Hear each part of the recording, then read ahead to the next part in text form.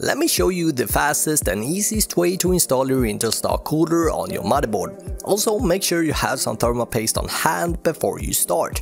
Now grab your Intel cooler and take a look at those 4 push pins on the side. You wanna line up the 4 plastic pegs with the 4 holes on your motherboard.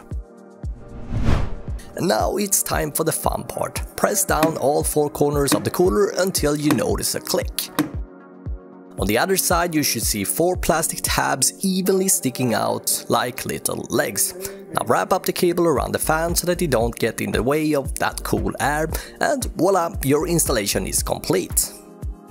But wait, what if you need to remove the fan? No problem, just unplug the cable, grab a flat screwdriver and turn each pin 90 degree anti-clockwise.